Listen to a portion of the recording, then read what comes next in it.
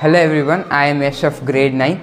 As a part of National Science Day, today we'll be discussing about cymatics. As we all know that all sound have vibrations and these vibration can be converted into visible patterns. And this new science of studying uh, sound and vibration converting into visible patterns is known as cymatics.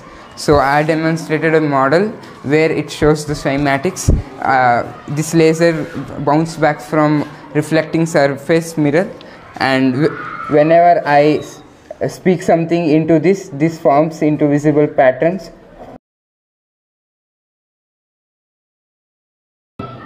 Om is considered as the uh, universal sound and seed of all sounds. So whenever, uh, so let us chant Om. Om.